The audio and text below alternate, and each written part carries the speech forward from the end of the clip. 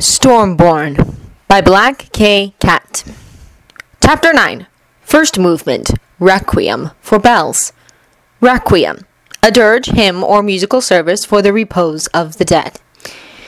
He dreams, as ever, of the past and present intertwined, of Konoha when there were only three faces on the mountain, one newly carved in honor of the third to wear the Hokage's hat. He dreams of walking through streets untouched by damage from Kurama or Orochimaru's failed invasion with his usual escort long since abandoned and the Fire Country sun hot on his face. Arashi! A man calls and Naruto turns with a grin lighting up his features at the sound of it. Saru! He calls back, even as the Sandaime Hokage, missing all signs of his office beyond a Konoha Hitayate, jogs a few steps to fall in beside him. Hiruzen makes a face at him, heedless of his dignity. But then, he's only been Hokage for a handful of weeks, not long enough to grow stiff yet. I really wish you wouldn't call me that, he complains. Naruto laughs and stretches his arms above his head as they enter the training grounds, twisting to pop his spine into alignment. Ah, but if I don't, who will? he asks cheerfully. If you're not careful, you might turn into one of those stuffy old men squirreled away in the office all the time. As your friend, it's my duty to save you from such a fate. Oh, kind of you. Hiruzen drawls, not quite managing to hide the roll of his eyes. But he doesn't complain when Naruto takes a seat beneath an old spreading oak tree, just joins him, leaning back against the rough bark with a sigh. The day is lazy and muggy, a thunderstorm threatening at the edges of the sky, but still a ways off. And for once, there are no pressing duties to attend to, nothing to demand their attention for a few hours at least. Are you staying long this time? Hiruzen asks at length. Just so I know how much of an allowance for damages to write into the yearly budget, of course. Hmm. Naruto snorts, shaking his head. The two silver bells he's wearing, threaded onto red ribbons and securing his long hair in a loose tail, chime softly with emotion. He's never managed to break the habit of wearing such things. Not since Mito's gift of her belled hair ornaments. Those are reserved for special occasions, or moments when he's feeling especially sentimental. But he has others to wear now as well. Yui's in charge back home, and Shunka is helping her, he says with amusement, thinking of how his petite, weefish, and entirely hot-headed assistant and laid-back, lazy, forever amused Jonin Commander are likely butting heads at this very moment. They've never gotten along. Naruto likes to call it unresolved sexual tension, but that always makes Yui call him a pig and Shunka smile threateningly and finger her kunai. Ginrei, the chief medic, agrees with Naruto. But then Ginrei has always been a fan of anything that ruffles Shunka's feathers. Honestly, if I'm gone for more than a week, I think one of them will hunt me down and drag me back hog-tied and screaming. Hiruzen laughs because he met both Kunoichi the last time Naruto was in Ghana, several months before Tobirama's death, and therefore understands that there's a 50-50 chance that Uzushio will have gone up in flames by the time Naruto gets back. Perhaps literally even. Unusually for an Uzumaki, Yui has a fire affinity. I wish you the best of luck, but would not take your place for all the glory in the world, he informs his friend, shaking his head. He stretches his legs out in front of him, crossing them at the angle, and then sighs. Sandaime Hokage. Gods, what was Sensei thinking? Naruto studies him for a moment, seeing the faint lines of well-hidden grief, and has to conceal a wince. Konoha has only recently come from a war, and everyone is mourning someone. Hiruzen more than most, with the loss of his mentor, as well as his comrades. He has reached the highest position a shinobi can, but the glory is bittersweet. Uzushio is lucky. So far, both of its previous Kages retired peacefully. Konoha, on the other hand, is getting a bad track record. But the sun is bright, and the trees are green, and children are laughing somewhere in the distance. Konoha is still standing regardless of its losses, and the day is too nice to linger on grim thoughts. Decided, Naruto darts a hand forward in a blur of motion and yanks on Hiruzen's goatee, not too gently. Sarutobi Hiruzen, Sandaime Hokage of the oldest shinobi village and one of the most powerful ninja in the elemental countries, squawks, flails, and almost tumbles over backwards in an attempt to get away. Never one to waste an advantage, Naruto takes the opportunity to get safely out of range. Only then does he allow himself to shake with laughter at the sight of his friend. You mean Tobirama? He was thinking that with the old man beard you already looked the part, of course. he taunts between fits of giggles at the other man's expression. You brat! Hiruzen hisses even as he rises to his feet with a growl and throws himself forward. Naruto ducks up.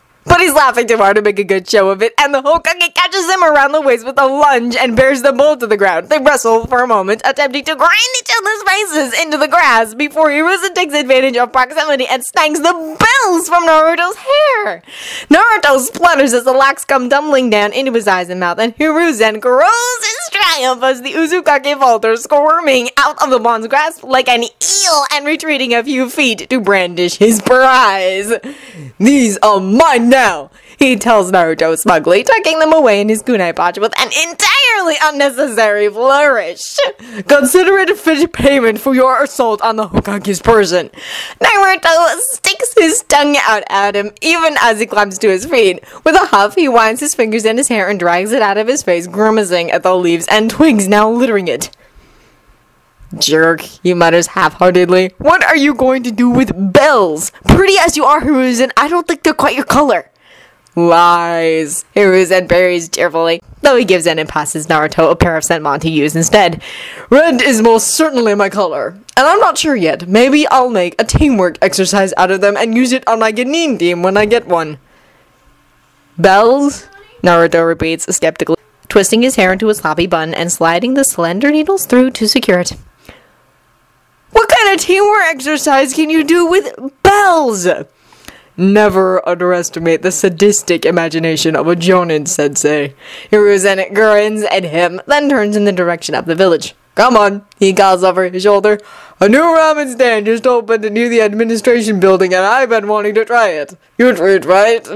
Rolling his eyes, Naruto follows. My treat! Hiruzen, if you think that you can get out of paying every time just because I missed your appointment ceremony, it was a very important day for me, Hiruzen says solemnly, though his dark eyes are dancing. Life altering, and it truly broke my heart to see that one of my best friends didn't even bother to put in an appearance.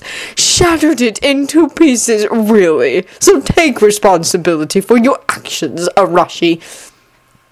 Does Konoha know they have a great big moocher as Hokage? Naruto retorts, but he doesn't resist as Hiruzen steers them toward the ramen stand. I feel like I'm socially obligated to warn someone about this. It could spell absolute disaster for your economy, and then Uzushio will be left to pick up the pieces after Konoha's destruction by its enormous moocher of a leader. This coming from the man who leaves mortal enemies in charge of his village while he's away. And not just mortal enemies, but a ridiculously strong Katon user with a hair trigger temper and an assassin so skilled in silent killing that she gives Kiri Hunternin nightmares. I wouldn't go so far as to call them mortal enemies. Oh, really? Then what would you call them? Uh, rivals? Rivals generally doesn't include wanting to rip each other's throats out barehanded. And I know Yuri-san threatened to do that last time you left her alone with Ookami-san. Oh, shut up, Saru! Jiraiya goes to his old teacher the first time he's assigned a Genin team of his own and asks if Sarutobi would be alright with him using the bell test his own team had been given that first day. Sarutobi just looks at him for a long moment, seated behind his desk with his pipe in one hand, and then he very, very carefully reaches into his robes and withdraws a pair of silver bells strung on crimson ribbons. He weighs them in his hand for a moment and then asks, Do you remember meeting Uzumaki Arashi, Jiraiya? Jiraiya blinks at the unexpected question, rocking back on his heels and chewing at the corner of his lip. I do, he affirms after a moment, because it's hard to forget a man like Arashi, forever smiling and laughing and still unspeakably deadly. A friendly summer sea just barely concealing the furious tempest beyond the horizon. Jiraiya has seen the aftermath of the attack on Uzushio, and despite the ruined city, what had caught his attention first was the graveyard of Kiri ships off the coast, torn apart by wind and water wielded by a man who more than lived up to his title. He also remembers meeting their teacher at the training grounds one bright and sunny morning, long after they all became Jonin and a handful of weeks after Mito's death left Uzumaki Kushina, the Kyubi Jinchuriki. only to find absolute destruction, rubble and craters and fire, and Sarutobi in the midst of it all, expression flat and eyes burning. Tsunade had asked what was wrong, but he'd said nothing, and it was only later that they found out Uzushio had been leveled almost two weeks past before they could even call for help. Sarutobi sighed, then drawing Jiraiya's gaze again and reaches out. Carefully, with a faint sense of ceremony, he takes Jiraiya's wrist, tips the bells into his broad palm, and gently closes his fingers over them. Those were his, he says softly, withdrawing three paces to stand by the window, his face backlit by the sunlight and entirely unreadable. He let me have them after I stole them in a spar, and I used them for the bell test in honor of his loyalty to his friends and his dedication to the people of his village. You are welcome to them, Jiraiya, but if you pass them on, would you remember? Throat sick. Jiraiya simply nods, carefully transferring the bells to his own pouch and then bowing to his teacher. I won't forget, he promises. And he doesn't. Minato hears the story when he gets his Genin team. Kakashi hears it too, though it means less to him by then. Uzushio faded to a collective memory that's rarely discussed. But he hears it, remembers, and Sarutobi watches it all and thinks of laughter in the sunlight and the bright, sweet chime of bells. They've timed their arrival in Konoha just right. There's no moon, and clouds cover vast swaths of stars, leaving the village dark and eerie, the shadows drowning deep and all but unbroken. Naruto moves quick and silent through them, not needing to look to know that Haku is flanking him. Here and there, scattered across the village in ones and twos and small tight clusters, are chakra signatures, not of people, but of seals tiny bits of darkness, shards no one but a Fuinjutsu master familiar with the organization would think to track, but Naruto can feel them all like pins against his skin. Each and every one of them. He comes to a halt at the edge of the boundary fence, tall and imposing and far more dangerous than it appears at first glance, and feels more than sees Haku slide up into the branches of the oak at the corner. A pause and Naruto counts his heartbeats to control his impatience. He's gotten better at these kinds of missions, remembers enough about being Arashi and from his own Genin days to contain himself, but it's still not him. Not natural or desired in any sort of way, but there are only a few seconds before frost forms on the ground in front of him, shaping itself into four parallel lines. Four guards then. All Root Anbu, but that's to be expected. Naruto gives the signal to go and bounds over the fence in a flash that's almost too quick to be seen, then drops into the beautifully arrayed garden on the other side and crouches in the bushes there, sense straining for any movement. But there's none, only a faint whispering breeze he can tell is natural, and he lets out a slow, silent breath in relief. One obstacle down. Only about a hundred more to go. Oh, Danzo is such a paranoid warmonger. Though, granted, considering the number of people who would happily slit his throat, and not just among Konoha's enemies, perhaps it's justified. Another 30 seconds of silence just to make sure they have a bed spotted.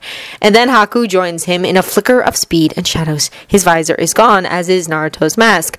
Both are distinctive, easily identifiable, and if they're caught here and doing this, they're going to have a lot more to worry about than just having their faces bare.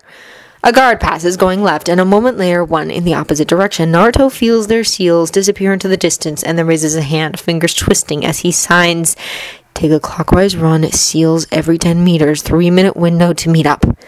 Haku nods in understanding, already pulling a stack of paper squares from his weapons pouch as he slips away. Naruto doesn't let himself watch his friend go. He's a Kage. Haku is a skilled jonin and regularly plays his bodyguard, and they're both more than capable of looking out for each themselves. Instead, he pulls out his own sealing papers and lays one against the wall, right where it joins the ground and settles into place with barely a flicker of chakra. As long as he waits for the guards to pass him before he sets them, they should go unnoticed. The seals are glorified recording devices, honestly, though it took Naruto weeks to tweak them enough to work for something like this. This is Danzo's stronghold, his lair, but when he and Haku are done ringing it with seals designed to record and remember chakra signatures, present wards, and guard rotations, they'll have a way in.